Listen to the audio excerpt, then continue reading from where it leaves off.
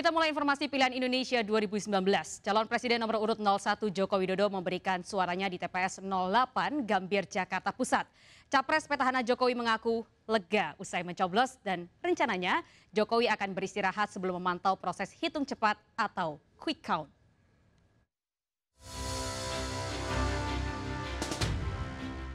Presiden Joko Widodo tiba di TPS 008 Gambir bersama Ibu Negara Iriana Joko Widodo sekitar pukul 10 lebih 17 menit.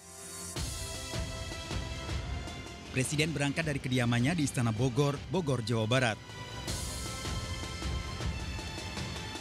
Berdasarkan data DPT di TPS 008 Gambir, Presiden Jokowi dan Ibu Negara Iriana masing-masing terdaftar di nomor urut 154 dan 155 dari 198 pemilih terdaftar.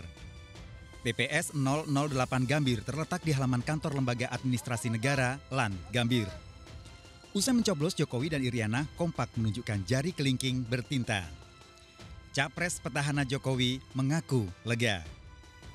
Apa? Udah nyoblos gimana? Rasanya? Rasanya. Belum.